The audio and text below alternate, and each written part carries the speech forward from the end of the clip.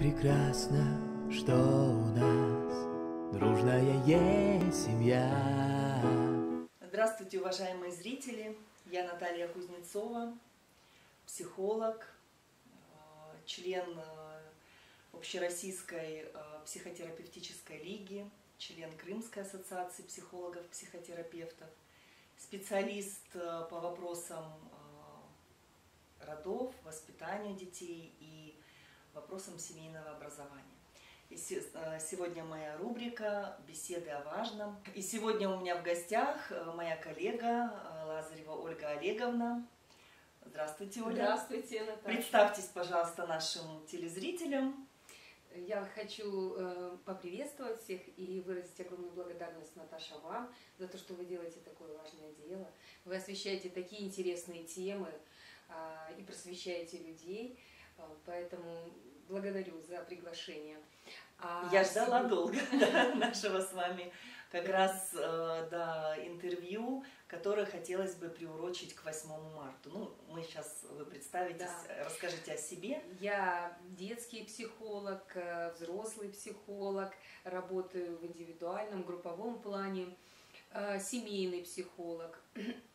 Я являюсь также членом Общероссийской психотерапевтической лиги, Общества содействия символ драмы, Ассоциации песочной терапии. А, люблю использовать очень разные методы в своей работе. Это песочную терапию, арт-терапию, метафорические карты, а также всевозможные игры, которые развивают детей. Не только эмоциональный, но и когнитивный аспект. Здорово. И еще вы со с вашим супругом ведете семейные пары, что в нашем городе да. Севастополе это, ну, в общем-то, эксклюзив тоже. Это э, такой универсальный, скажем, обмен информациями. Когда на консультацию приходит пара, то мы тоже с супругом э, пара. И мы пара психотерапевтов, мы котерапевты. И рассматривается много задач за один сеанс. То, чтобы, эм, если мы ведем поодиночке, да, семейную пару, э, скажем так, это двойной удар. Я бы так это назвала. Потому что это и Э, профессионализм, это и эм, введение в символ-драме системной семейной терапии, скажем так, мы в одном направлении работаем, э, и еще дополнительно, что это мужское и женское, что мы не присоединяемся к кому-то из партнеров, потому что мужчины думают, что мужчина защитит во время консультации или женщина. И вот этот вот аспект позволяет Э, не присоединяться нам, а показывать э, да, какие-то да, с двух сторон вещи. Потому что э, бывает так, что какие-то аспекты затронуты в консультации касаются женщин непосредственно как им или мужчину. И это очень важно, чтобы они видели два разных мнения. То есть и дополнение друг друга. Вот, вот этот уникальный это формат. Да, да, да. Оль, сегодня тема нашего, а, можно мы на ты? Да. Да. А, тема сегодня нашей встречи – женственность. И а, хотелось бы очень осветить в контексте именно женственность, как она приходит в этот мир и как она расцветает, процветает. И особенно коснуться подросткового периода, когда женственность может расцвести как раз, да, mm-hmm. или утратить, э, отвернуться от себя и пойти, ну скажем так, в заменители, в обертки я их называю, э, что способствует развитию, процветанию женственности – и что э, ну, влияет э, деструктивно и приносит боль и губит женственность. Мы сегодня будем говорить о нас, о девочках. Тема, да, тема женственности. И э, мы сегодня такие разные с тобой, да? Я люблю вообще о себе говорить, люблю говорить о нас, о, о девочках, о женщинах. И тема женственности для меня – с начала моей терапии, я в терапии уже 9 лет, уже 10 год пошел, это такой был сначала поиск ответов, в итоге это вылилось в путешествие к себе. несколько дней назад э, вспомнились слова моей бабушки Маруси, когда я там подростком когда что-то кричала мне так, «А, ты что вышла из себя? И вот это вот, э, наверное, какие-то фразы там от мамы, от бабушки, от папы, от дедушки, они сформировали э, у меня мнение о себе. Но мнение других людей обо мне было это не я. А вот когда я вернулась к себе, нашла себя и продолжаю себя исследовать, потому что там вообще такой внутренний мир оказывается, женственность, она безграничная и разнообразная и разная, как вот мы сейчас представлены, да, две женщины, э, а мы, каждая в своем образе пришла. Но образ это больше, как мы представляем себя, эм, как роль социальная, я женщина, mm-hmm. да. А мне бы хотелось начать эм, нашу дискуссию, такой разговор, размышление именно о том, вот э, женственность это вообще о чем? Это, это что? Ну, если брать э, само понятие женственности, то э, ответы у нас всегда приходят по-разному. Но если брать э, целом женственность, это совокупность качеств, которые присущи только женщине. Это нежность, мягкость, забота о близких, забота о супруге, хранительница очага, а, это умение вести себя, то есть это целый э, такой формат этических э, каких-то качеств э, для того, чтобы некий ориентир, да? но есть роль женская и женственности социальная, а есть внутренняя женственность. И вот Хотелось здесь... бы начать именно с внутренней женщ... Жен... да. женственности, как семя, которое рождается ну, вот, в гендерном обличии девочки. Да? Да. Вот родилась девочка, девочка ген... по гендерным э, да. признакам, и вот там вот это семечко женственности. Это, это как? У всех оно у девочек одинаковое или как вообще? Об этом бы хотелось больше, Хорошо. о внутреннем состоянии. А, как внутреннее состояние рождается? Когда рождается девочка, здесь важно – Э, отношения между родителями, да, хотели девочку или хотели мальчика. И э, уже здесь э, мы видим, вот, скажем так, задатки этой женственности. Девочка рождается уже с этим набором качеств. Да? Женственность есть, в ней есть изначально. Но важно ее не нарушить и не скажем, загнать в дальний угол, когда мы будем сегодня говорить про ряд причин, да, и, и ну, где эта женственность потерялась. И таким образом эм, девочка... заключили в тюрьму, да, запреты. Запреты, да. И здесь очень важно э, смотреть на семью и как девочка воспитывалась. И все ее э, качества, когда она приобретала да, взросление, э, чтобы его разумно сопровождали родители. Потому что первый социальный институт – это семья. И очень важно не только мнение мамы о девочке, но и папы. Что есть, даже а... наиболее важно. Мамин пример, а папина отношения, да? да? Вот приход, э, приносят девочку из роддома и говорят, какая ты красавица, какая миленькая и так далее. И глазки, и губки, и щечки, и все. Все прекрасно и любуются. И вот как папа к этому подходит, да? Э, мама, понятно, она включается сразу, в ней это природное, и, мама заботится, э, но мало того, она еще и показывает собой пример. То есть какая а, она жен, да. жен, жен, женщина, женственность, и как здесь э, очень многие папы бывают порой э, ведут, э, пугаются э, женственности и э, говорят, э, вот она подрастет, я буду с ней играть. А здесь важно с самого-самого рождения, чтобы папа подходил к кроватке, чтобы брал на ручки, чтобы ребенок рос в любви и принятии. Потому что если папа не подходит и не говорит девочке, я тебя люблю, ты моя самая лучшая, и не закладывает вот красавица. этих основ. Красавица, умница, я так горжусь тобой. А, Принцесса да, моя. Но бывают мужчины, которые не очень э, словоохотливые, тогда они могут обнимать, то есть давать тепло, тепло нежность. нежность, именно... да. А. И что девочка вырастает и знает, что папа меня любит. То есть вот сейчас, папа, сейчас да. Оль, вот э, прямо у меня внутри возникает такая интересная мысль.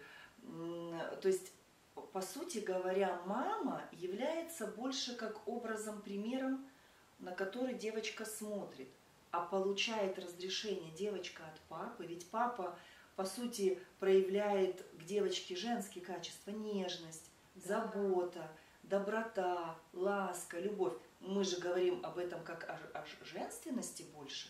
И Но получается, да. и у мальчиков, и девочков есть и, и женские, и мужские качества. Да, Но папа своей нежностью к девочке формирует и дает ей разрешение. Получается так. он формирует именно те качества, которые она принимает в себе. Вы правильно М. говорите, потому что Вот Э, почему папина роль такая важная и важная. ценная. Почему говорят, если у девочки хорошие отношения с отцом, она будет э, хорошо воспринимать мужской пол и выберет по образу и подобию папы э, будущего супруга или партнера. Э, И таким образом э, решается очень много задач. Или я за- зачастую э, сравнивала свою личную жизнь, да, а, когда ты с кем-то расстаешься, это же внутренняя трагедия, но у меня не было к людям зла. Я не помнила, ну да, обида какое-то время существовала, Боль оставалась, Боль но она не превращалась но в горе. это не такое. было ненавистью, это не было э, все мужики ужасны, да, и, и так далее, потому что у меня был прекрасный образ моего отца. Именно, Оль, вот здесь, наверное, Да. хотелось бы, как я понимаю образ отца, это от- у, у вас, Это прототип у вас, у вас было от отца отношение. То есть не сам Да. образ, а его отношение, к вам. И то, как вы чувствовали себя как женственной от того, как папа к вам относился, Да, получается так. Да. Мама по, Ах ты, как по интересно. маме я ориентировалась, э, как она одевается. Как социальная роль. Как- Мама как как, со- социальная Да, роль, да? она же еще и педагог у меня, к тому Мгм. же. И эм, она всегда носила юбки. То есть вот я помню маму, да, на работе. Это всегда образ советского педагога. Ну и когда, я помню такой интересный момент, когда мы приехали в Саратов, а маме надо было там к врачу пойти. И она, э, я эту фразу запомнила прям с детства. И э, юбка там или порвалась, или что-то случилось. И она говорит, я к врачу в штанах или в брюках не пойду. То есть это, это та же все же женственность, которая все равно закладывается и мамой, и папой. Поэтому нет возможности сказать, кто больше вклад вносит. Важно, об, оба родители важны. Но у каждого своя роль получается. Задачи у каждого задачи свои. свои. Да, и то, как семья проводит досуг. А, Если э, между папой и мамой складываются э, доверительные, а, не то чтобы бесконфликтные, а конфликты, они же в любой семье Они есть. нужны, Просто конечно. они важны, нужны, но э, с наименьшим э, потерями выходят из них, да? А, Грамотно. есть грамотно. Потому что если ребенок не видит, как ссорятся родители, ну, в какой-то момент, да, он Это говорит, иллю- «Мам, иллюзорно, это, да. это идеальная семья, да. Мир. А оказывается, когда девочка сталкивается потом в будущем С реальной с жизнью. реальной жизнью и реальным партнером, а он, разочарование. э, допустим, какую-то свою проблему агрессирует или, или тревожится, и ей непонятно, а мои родители не ссорились. Так не бывает. Поэтому э, важно, чтобы девочка видела, как конфликты разрешаются, как родители друг к другу потом после этого относятся. Прощение, Прощение, милость, да. нежность друг к другу. Недержание обид, отпускание. Отпускание. Ну вот если мы э, сейчас все-таки вернемся вот к этому семечку, который рождается в теле девочки. Да, вот, вот, Да. вот тель- тельце девочки родилось, так вот девочка пришла в этот мир, и там вот это семечко женственности. А, Мы сейчас произнесли э, о том, что именно семейная атмосфера, когда два взрослых, здоровых человека, мужчина мужественный, ответственный, женс- ж- женщина нежная, э, которая Да, да. умеет сама, как мама, свою женственность идентифицировать, а кто я. Не просто как мать, жена и женщина в этой социальной, как сказать, как единица социально, а кто я как именно женственность, как сама природная э, Сущность. сущность, да, то есть душа, она как бы считается бесполая, да, но как э, женственность, душа как женственность, это уже тоже такое, как эм, новая такая одежка, все-таки имеет э, свою сущность.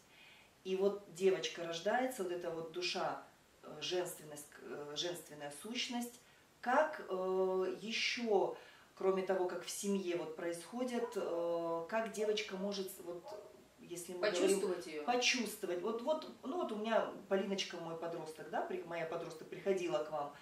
Она сейчас как раз с возраста 12 до 18, mm-hmm. это сексуальность, идентификация, да. Это время определения а, в какую сторону посмотреть. А да? какая я как девочка, да? То да. есть как девочка ребенок определяет да. когда? С трех до шести получается, да? С трех до шести формируется эм, половая принадлежность. Угу. То есть э, дети уже в детском саду или дома понимают, что половые органы есть девочки, есть разные, мальчики, да. да. Оказывается, что они все разные, э, что у мальчиков короткие волосы, а у девочек длинные Э, что половые функции у всех разные, что у мальчиков видно, а у девочек нет. И, и вот эти все, ну, как бы они начинают интересоваться своим телом, они могут демонстрировать друг другу, э, и это нормально, и это не должно пресекаться. А, почему? Потому что все э, ребенку мы необходимо надо объяснять. Дети начинают объяснять. в этом возрасте изучать и изучать себя и изучать другого. То есть и тех же девочек, и тех же мальчиков. И в 5 лет уже стойкое ощущение, да, даже есть в тестах э, на определение интеллекта. Самый первый вопрос. Ты кто, мальчик или девочка? То есть, если ребенок правильно тебя идентифицирует, да, это плюс еще э, остальные вопросы, да. Это тому, как детский психолог, он с детьми когда да, разговаривает. Да, да, и, да. да, есть э, на определение интеллекта. Вот, и ребенок говорит, ну, конечно же, я мальчик. Или девочка говорит, конечно же, я девочка. Еще такие глаза делают большие, что угу. что ты такое тетя спрашиваешь, да? А, и э, здесь очень важно, что кому себя относят, да, к девочкам или к мальчикам. А, в моей практике было множество детей, но э, встречаются, стали, стали встречаться э, чаще девочки, у которых мужской набор качеств. А, папа хотел мальчика, а родилась девочка. Ну, некоторые отцы мирятся, а некоторые нет. И они начинают они из девочки начинают делают такого мальчик. Они одевают мальчиковую одежду, всячески поддерживают э, образ мальчика. Э, волосы коротко стригутся. То есть э, до такой степени может измениться идентичность вот на такой ранней стадии а, э, чтобы, ну, как бы, если вовремя не затормозить этот процесс, то э, дальнейшее, скажем так, развитие может быть э, по-другому. И девочка потом долго будет искать эту женственность и не будет понимать, почему у нее не складываются отношения с противоположным полом, почему она так агрессивна. Да? Агрессивность есть в каждом из нас. Э, и это норма. Да, и это норма. И это норма. Но норма в чем? Когда она золотая середина. Если она на низком, значит человек не может себя защитить. Если она в среднем, да, ну, скажем, здоровая, да, такая агрессия. Здоровая, да. да. Способность... Гнев, гнев как а, определение собственных границ, кто я и кто не я. Границы – это еще понимание того, как ты можешь себя защитить перед другими людьми, угу. да, вот, смолчать или, э, или отвечать и так далее. Вот. Можно я перебью да. немножечко? А, долгое время до собственной терапии я прям воевала вот с этим понятием что девочка должна смолчать. Вот женственность – это показание терпения. Когда девочка молчит, когда она все терпит, когда она не высказывает.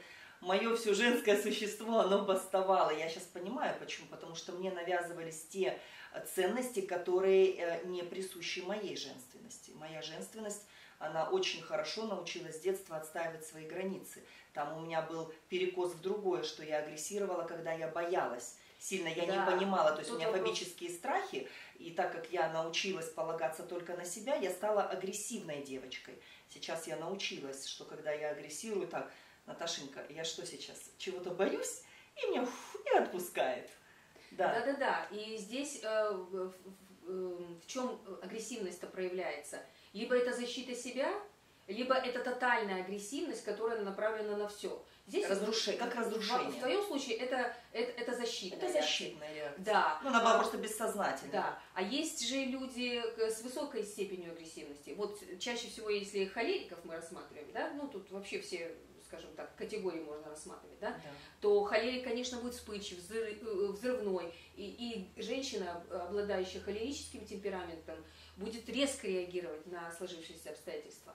Но тут есть и свои плюсы и минусы, как в любом деле, да, э, даже в той же женственности, да.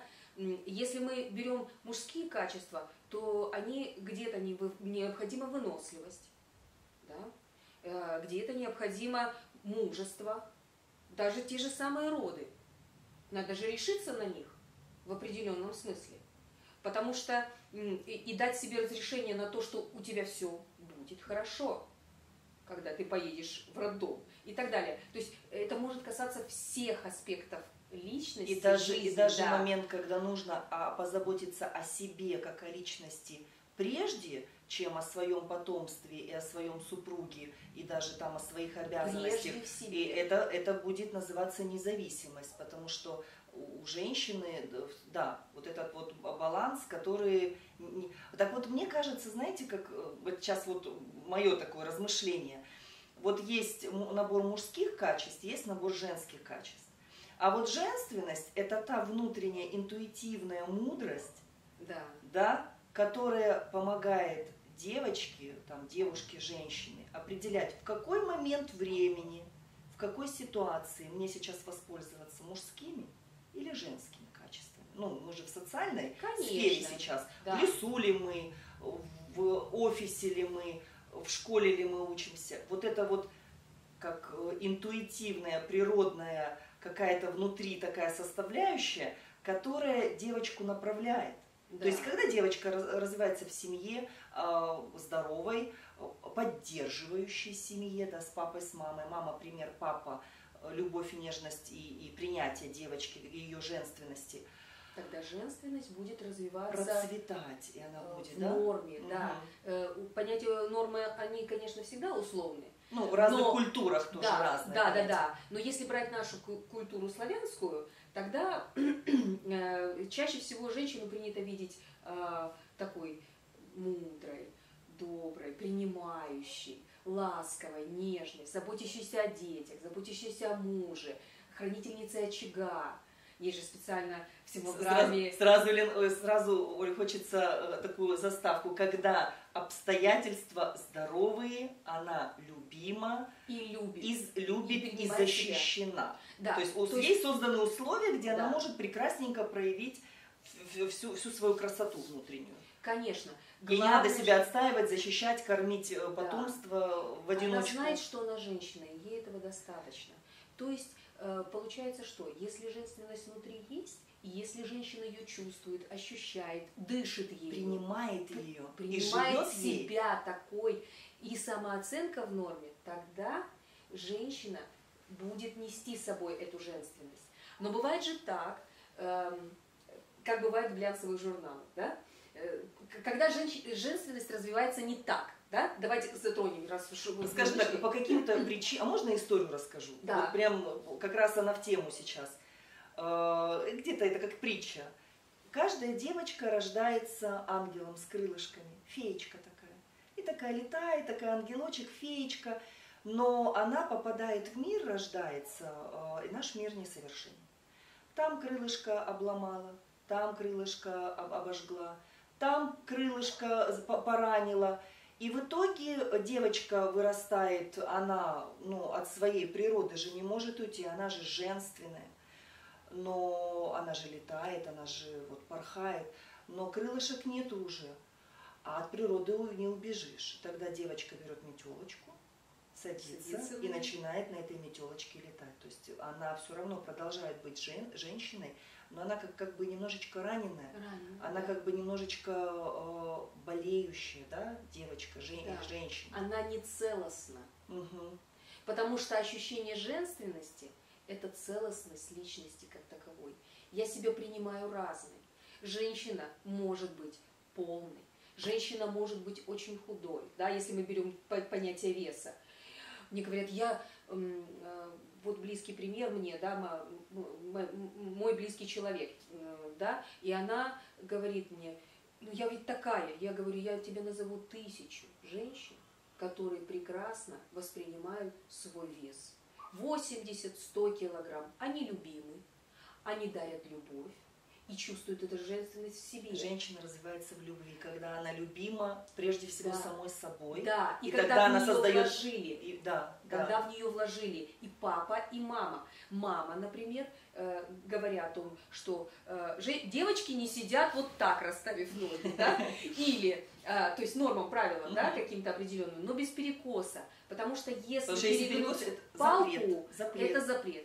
А, и вот мы выходим на очередную да, проблему, когда утрачивается женственность, вот в том зачаточном состоянии, потому что она развивается по мере взросления девочки. Мы проговорили, что с 3 до 6 это э, идентификация по половой принадлежности, да, я как мама, а мальчики я как папа.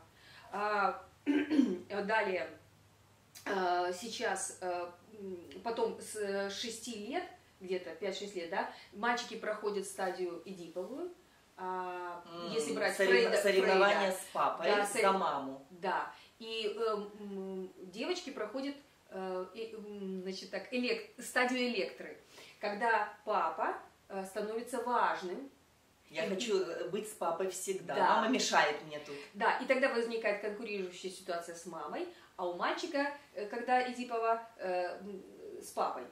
То есть и вот э, насколько эм, с наименьшим сопротивлением стороны выйдут из этого эм, э, из этой стадии. Это да, грамотность родителей должна быть. Прежде всего, да, что нужно, э, ну, прежде всего, это знание. Знание, опыт. Да. Если ты знаешь о том, что в этом возрасте девочки реагируют так, значит, легче родителям будет справиться с этим. Мама не пойдет в соперничество с не дочерью. Не пойдет. То есть она будет направлять ее, корректировать и говорить, нет, ну так нельзя, или там, ну вот, вот здесь ты вот, может быть, подумаешь как, и, и так далее. То есть мама не пойдет в агрессию, границы, в агрессию да. не пойдет. А, и будет четко разъяснять позиции. Я сплю с папой. Я хочу спать с папой. Нет, с папой сплю я. Мягко, спокойно, по-деловому. Да? Ну, и как бы, и ребенок, конечно, он будет привыкать к этому, потому что если ребенку все дозволенность дать, то он на голове будет плясать. Вот. А девочка должна понимать, что нормальные отношения, скажем так, которые э, будут нести с собой любовь, добродетель, и, ну, как глядя на родителей, да, и что родители не ссорятся из-за нее, угу. да, потому что дети часто выступают ну, скажем так, эм, на арене между родителями, да, и родители потом э, тащат каждый на свой, э, свое одеяло, да, вот, вот здесь нет вот э, консенсуса, здесь нет, э, скажем так, бесконфликтного общения. И, и, и иногда бывают такие грустные моменты, когда родители используют детей, иди скажи папе то, иди скажи маме да, то, то есть и ребенок как посредник, по сути, да. мой, Либо он идентифицируется такой. по маме, либо по папе, да, неважно какого он пола. И тогда получается что? Если происходит застревание на какой-то определенной стадии, девочка так и остается девочкой, а мальчик так и остается маминым мальчиком. Угу. То есть вот, вот, вот здесь застревание. Э, с трех где-то до 12. Папина дочь, а, да. мамин сынок. Получается да, так. Да, да. И с трех до 12 лет это определенные э, понимания того, э, что, что идентификация уже полностью, э, скажем так, принимается девочкой. Угу. И таким образом у девочки начинается менархия, да, половое созревание, потом до 12 да, вот, э, растет грудь, э, изменяется тело. И важно здесь, в, этом, в этой стадии, чтобы папы не пугались взросления дочери. Потому что чаще что мы наблюдаем? Одень юбку подлинней.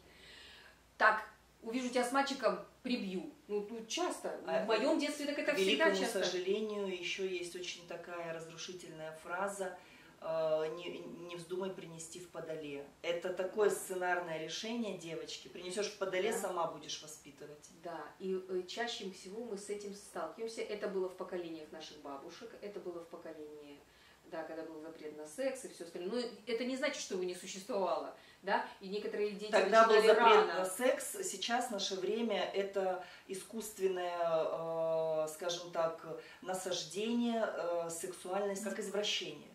То есть понятие сексуальности как энергии жизни, оно э, не рассказывается девочкам. Нет, а предлагается готовая глянцевая обложка. То есть если мы рассматриваем наши предыдущие поколения, то там прописан запрет на сексуальность как таковой, потому что секс это плохо, никто об этом не говорил, все, это постыдно.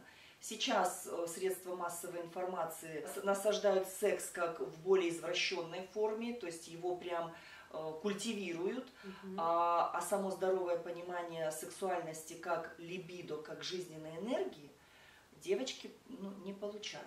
И в итоге получается у нас Разрыв. Глянцевая обложка журнала. Да. Снаружи девочка вся такая ухоженная, Мгм. то есть вот этот кокон, да, тело, а внутри опустошенная душа и разрывность э, между телом, разумом и душой. Вот получается так. Да, и я прокомментирую, что здесь э, что затрагивается. Когда раньше это был э, облик один, да, э, в советское время, да, а, то сейчас, конечно, насаждается это все. Почему? Сексуальность, она же э, Фрейдом да, и Юнгом. э, Фрейд рассматривал как э, истинно сексуальную энергию, а Юнг он пропагандировал это как жизненную энергию, вообще в целом энергия. Да?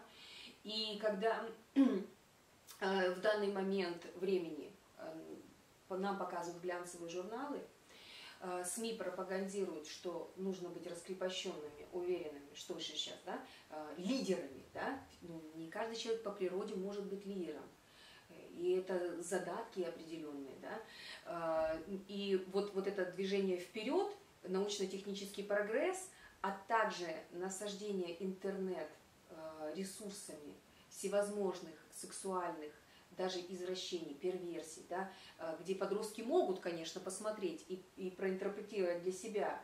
Жаль, что если они не пойдут обсуждать это с родителями, и тогда у них не складывается неверное впечатление.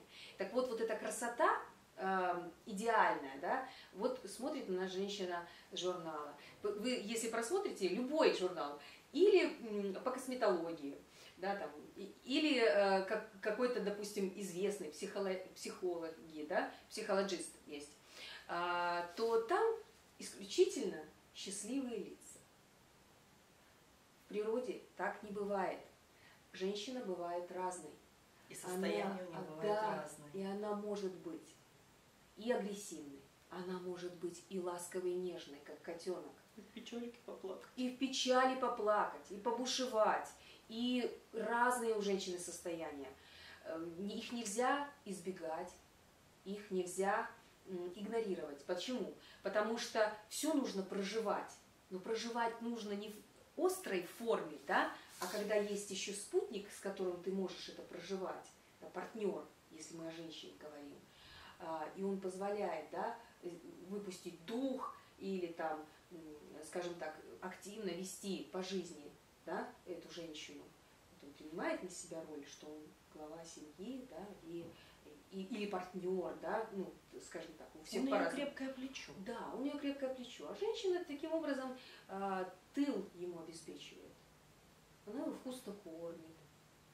Когда у меня пример приведу, маленький был мой ребенок, и, значит, э, и, и мужчина стоял рядом, а, ну, он заплакал, грудь просит. Ну, и для меня же не проблема было покормить. Я отвернулась и кормлю. А мужчина, который рядом стоял, он говорит, мужчина должен быть накормлен прежде всего. То есть, когда мужчина накормлен, он- Отозвалось, да? вот, поэтому, конечно, когда мужчина приходит Есть домой, такая шутка даже, что мужчина меняет одну грудь на другую просто. дело, дело, да, и он, ма- мальчик же выбирает по образу и подобию мамы, а, вот, но здесь тоже эм, э, кроется такая тайна. Если образ матери был негативным, значит, мальчик не выберет либо совсем такую, как мама, Наоборот сделай. делает наоборот. А если этот образ ему приходится по сердцу, он любит э, этот образ, он выберет такую же, как э, и мама, девушку, а потом и будущую жену. И девочки также. То есть либо отец жесткий, и они выбирают мягкого мужчину. А есть, когда девочка крутит папой туда-сюда, папа, забери меня из садика, папа, я не хочу сегодня в Манипуляции, школу. Детские Да, манипуляции. Детские манипуляции, да. И папа весь растворен в этой девочке, То есть структуры он ей не дает. не дает, да. Мгм. И э, там, где нормы, папа же тоже нормы несет с собой. Папа, Ну, папа вообще сильный, законодатель семьи-то папа вообще. крепкий. Да, это закон. Это власть, родители, это власть. Конечно. И от того, какая эта власть будет, демократическая, попустительская или тоталитарная, да, здесь же очень Или много- авторитетная. Да. Два авторитетных здоровых. Вот есть авторитетная, а есть авторитарная. Да. И вот когда эти все э, аспекты рассмотреть, можно понять, э, как воспитывался ребенок, мальчик или девочка.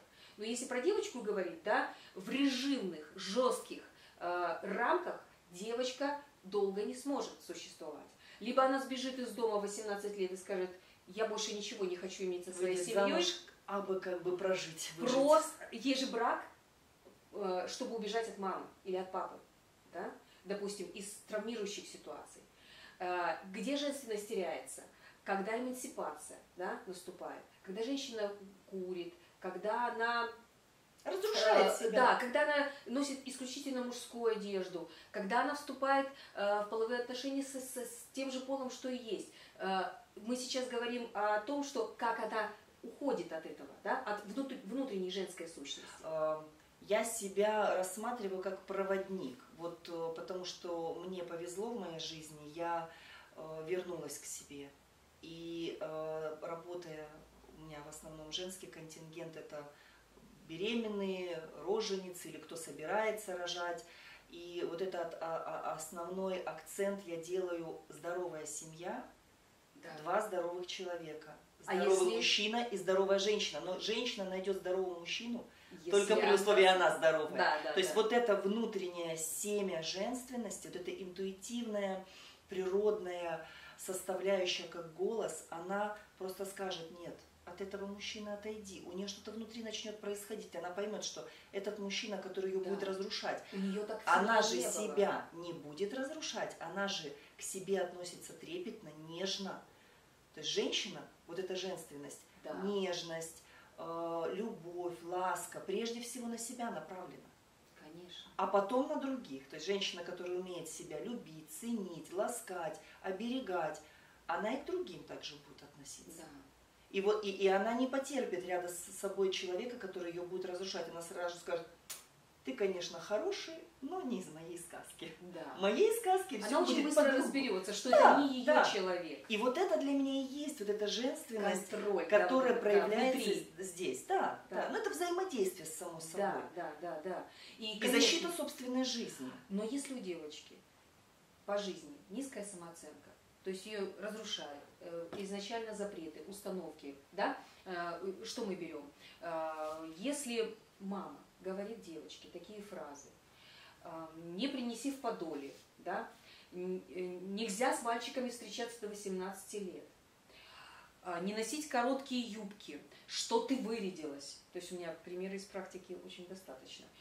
И это унижение происходит в присутствии еще и других людей, то девочку этот запрет будет сковывать, и женственность ее будет в зачаточном состоянии, пока не найдется тот человек, который сможет ее раскрыть, мужчина, да, Разбудить. и разбудить, Или разбудить. психотерапия. Или психотерапия вам всем в помощь. Да. Потому что э, чаще всего э, женщины не чувствуют себя. Мы же говорим о гармонии души, тела. Да? Мгм. Если женщина а, любит себя, принимает свое тело, принимает свои качества, да я разная бываю, я же разная. И я себя люблю такой. И я се- и это, это все я. И это все Если отгонять от себя, отщеплять вот эти вот э, качества, которые негативны, мы же говорим про тень, да? Если рассматривать теорию Юнга, то тень это то, что мы в себе не принимаем. То, Это то, что нас раздражает ты в других, плохой, да. или ты плохая, да. А то кажется, я не такая, я вообще не принимаю это. Ну, конечно, потому что ты в себе отторгаешь, и этого не видишь в себе. И, а люди, которые это транслируют, э, женщине не нравится, да. Задевает. Да. И когда я понимаю, что это же во мне, да, Мгм. и я принимаю, но не гоню, тогда эта функция будет приниматься. Это как потенци- И потенциал, который... целостность да, будет. Я разная, я такая. Я всегда клиенткам говорю, если вы любите себя, то вы любите себя всю. И знаете, такое откровение бывает, что я, и я начинаю такой аутотренинг. Мгм. Я люблю свои руки, я люблю свои ноги, я люблю свой живот, всю себя, э, лицо и так далее. То есть э, и, и вы бы ви- видели в тот момент эти счастливые лица, что у них прямо вот чувство вот любви к себе начинает пробуждаться.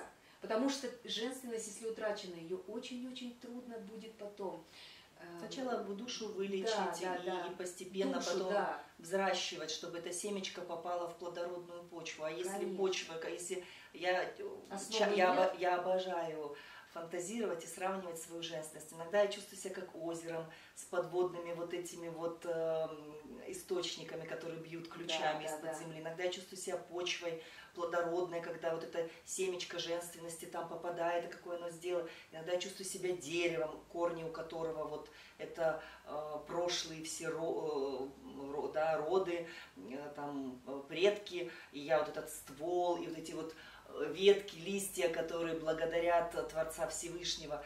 То есть я как женственность могу быть в разном абсолютно образе. Я могу быть бушующим морем, э, с вот этой вот э, такой силой мощной, которая все сметает. Оно бывает и такое, Но ведь женственная.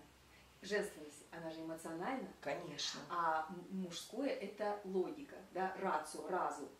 Вот. Поэтому можно встретить и женщин. Допустим, э, если женщина за рулем, да, Мгм. это не мешает ей быть женственной. Но если она всячески пропагандирует, что я лучше, я как вид, да, Мгм. да, ну у нас же только два пола, мужское и женское. Это сексологи сейчас более 50 полов выделяют. А, но для меня всегда существовало только два пола. Мужской и женский. Вот, поэтому здесь очень важно распределять, кто я, да, для кого. И вот эти запреты, которые, мы вернемся к ма- к материнским запретам, а, допустим, а, могут что за собой повлечь? Когда мама говорит эти фразы, она э, дает запрет на деторождение, а также запрет на здоровые отношения, э, запрет на то, что женщина вообще может потом зачать. Да? И вот если запреты эти не в, в течение там, обращения к специалисту снимаются, то женщина благоприятна. Но когда начинаешь искать корни, то э, понимаешь, что у установках и запретов очень много заложено. В негативных. У нас, когда, э, помнишь, э, был семинар с Натальей Олеговной, э, насколько мне, я прям выбежала такая счастливая, когда была сказана фраза, что девочка рождается сама по себе уже с ценностью вложенной, потому что Да. в ней заложен весь генетический код И род. и род, да, и, и то есть и все, девочке ничего не надо делать, ничего достигать, она уже родилась значимым и ценным человеком. И я как-то пришла своим девочкам, значит, рассказала, что у вас уже все есть, у вас там все знания есть, все, вы, вы родились уже вот ценным. Мальчику нужно возрастить себя в мужчину. Мальчик мужчина не рождается только потому, что он гендерно там со своими э, Конечно. богатством. То есть, когда мальчик вырастает и в 40 лет он себя ощущает мужчиной только потому, что у него есть гендерное богатство, вот мы получаем таких вот э, мужчин в слабой позиции, как я их называю. Они Да, мужчины, но они в слабой позиции, они трусливые, они, э, скажем так, безответственны, инфантильны, они мужчины. Но они как бы не доросли, они не выросли, они не повзрослели в мужчину, не воспитали Инфантилизация. да, они не воспитали в себе вот это мужское качество, э, которое от мужчины ожидается. Да, он должен. Он должен возрасти. То есть это его задача при рождении возрасти в мужчину, чтобы быть защитником, добытчиком, опять же иметь вот эту добрую, ласковую душу.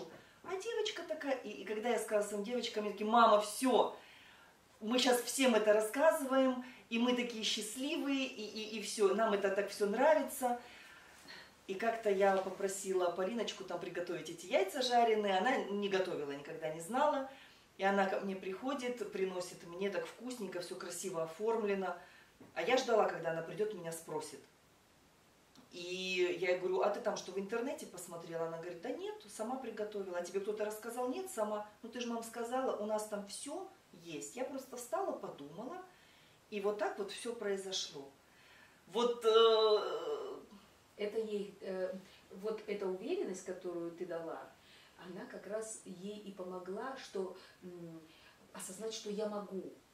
А уже то, как это сделать, это другой вопрос. Это то, что она видит. Она Да. видит, ну конечно, Она я видит, же готовлю, как да. мама готовит, да, как вкусно, невкусно, э, какие-то эксклюзивные блюда там, или как день рождения оформляет, да, и так далее. То есть э, от женщины очень многое зависит, потому что если э, допустим, э, женщина не умеет готовить или игнорирует эту свою часть личности, да, то есть э, девочка не будет знать, что ей делать. Эм, однажды я столкнулась с тем, что подруга моя говорила, почему меня не готовили, почему мне не рассказывали, что нужно готовить, что нужно, э, как можно заботиться о противоположном поле, почему мне не говорили, как надо ухаживать за детьми, и, за, и вот такая, знаете, обида. Подготовки к социальной вот, вот роли, роли женской, женской нет. да, вот. Э, а мама, допустим, все это делала, да, то, то есть и здесь может быть э, дырка, да, да, как говорится. Да. То есть девочка со своей женственностью интуитивной такая вышла в мир, социум, в и мир. столкнулась с жестокой и, реальностью. И столкнулась с тем, что есть вот эта женственность как природа, а есть социальная роль женщины, которая Конечно. необходима, чтобы они были в равновесии. Говорят, женщина, она в таком внутреннем равновесии. Она может свою жен, женственность в, в практической жизни проявить, да? То есть это Конечно. проявление в практической жизни. Да, и когда э, папа приучает девочку а, к мужским видам спорта, а, и, с ранних лет девочка должна себя защищать, девочка должна себя защищать. Но единоборство – это не женский вид спорта. Если мы хотим взрастить девочку и женственность в ней адекватную, тогда можно выбирать любой другой э, гимнастику, фигурное катание, да, э, всевозможные какие-то женские да, виды спорта. Там, где девочка может действительно себя проявить, плавание, также хорошо для общей физической подготовки, да, которая не калечит, а которая поддерживает здоровое состояние ребенка. То есть родителям обращать внимание, что хотят дети Обязательно. сами, или что пытаетесь вы, как родители, навязать детям. Да. И Я, для чего? Да. Ой, замечательный фильм мы с мужем недавно посмотрели. Блеск.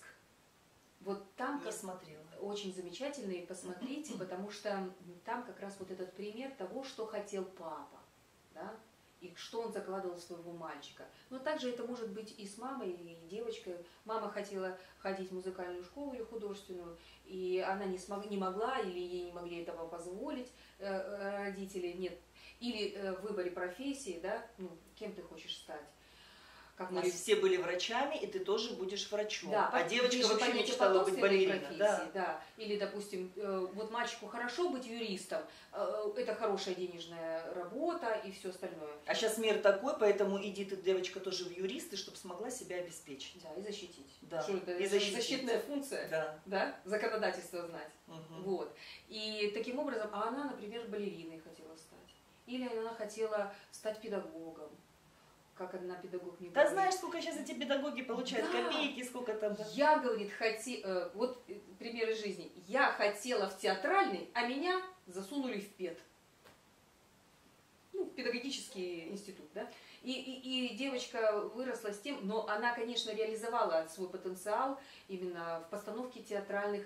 Умничка. Вот опять женственность да, все-таки дала она, свой Она выпрыгнула, да. да, вот, там, где идентичность. Неважно, какие условия мне создала семья, моя женственность все равно смогла Она ставит расцвести. танцы, она с детьми разучивает сценки, а, э, она их эм, настолько, эм, скажем так, организует, да, что они даже взгляд ее ловят угу. и не балуются, а именно вот в этой группе, например, вот всегда проходили на ура эти утренники. И отношение к детям протективное, принимающее.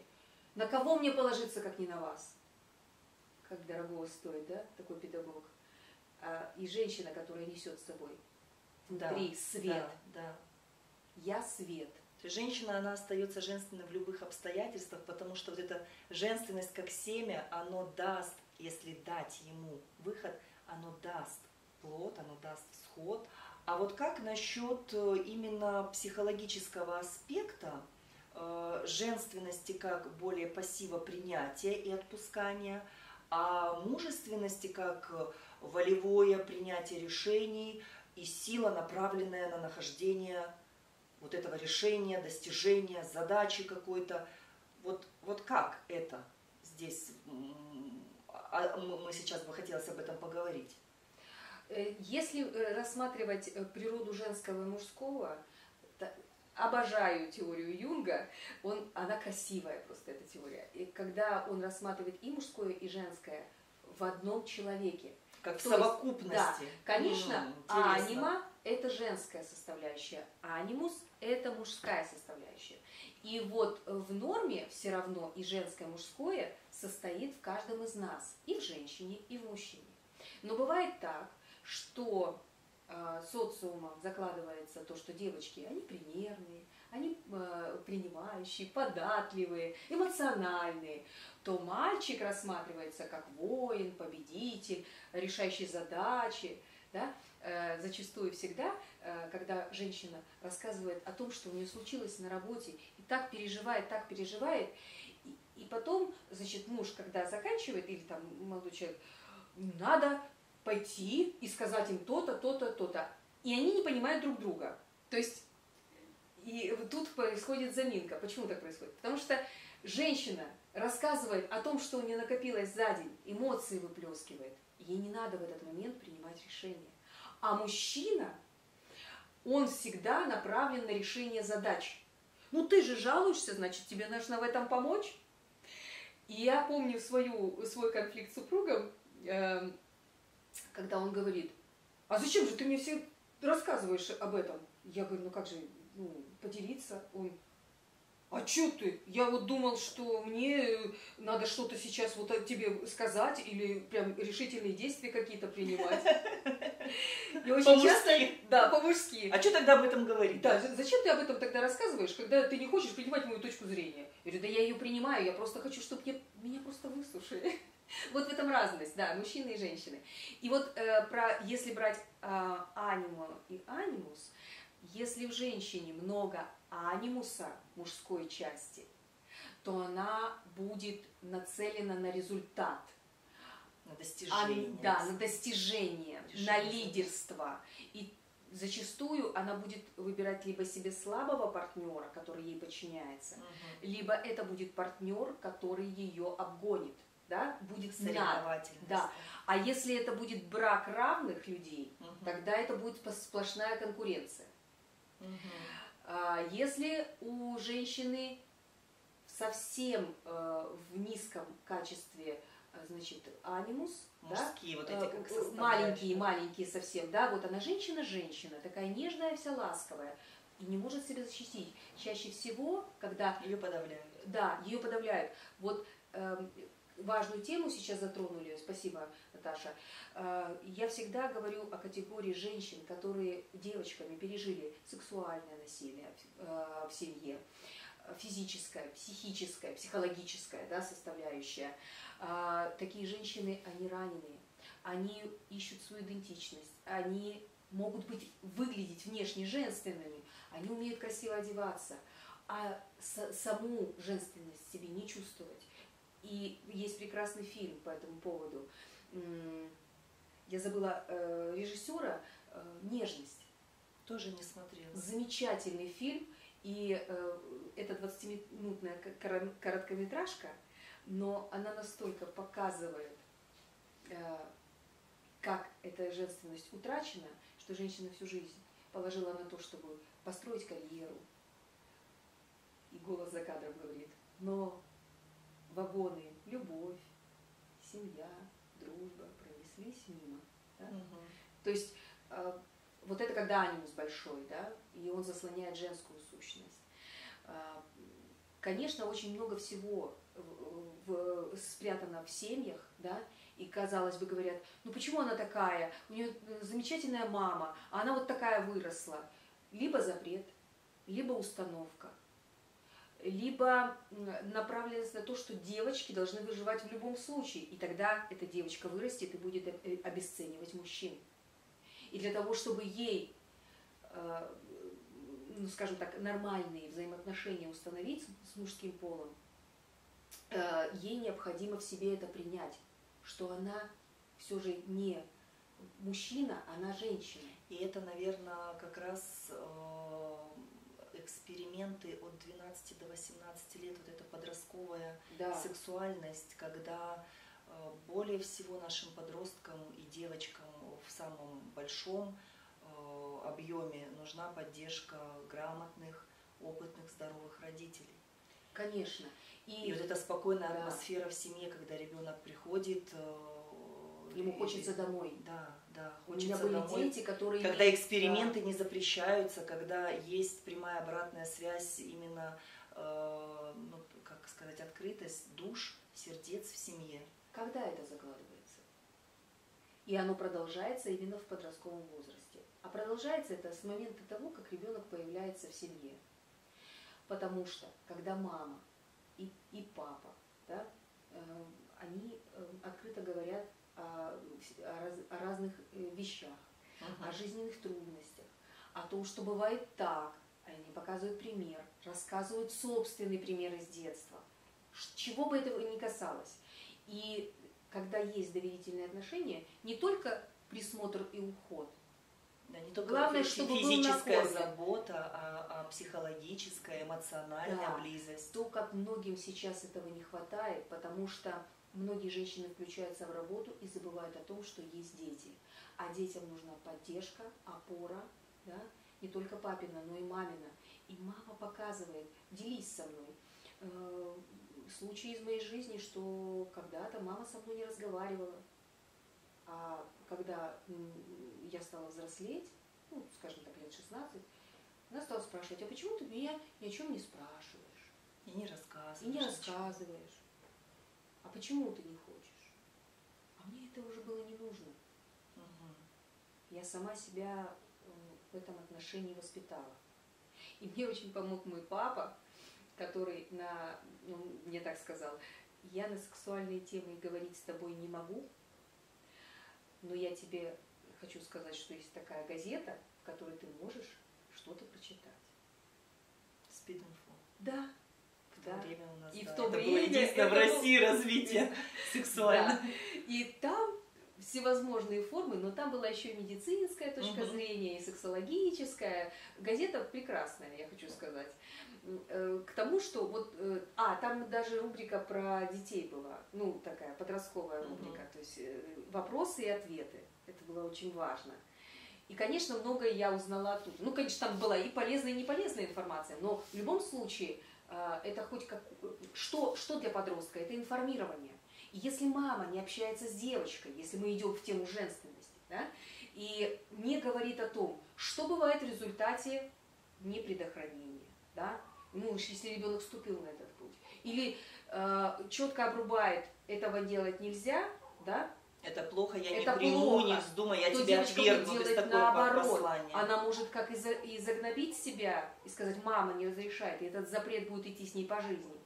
Или она сделает наоборот. То есть всегда, когда зажимают в тиски, э, когда жесткое обращение, неважно от папы или от мамы, ребенок будет стремиться из этих тисков вырваться если в нем достаточно энергии и ресурса.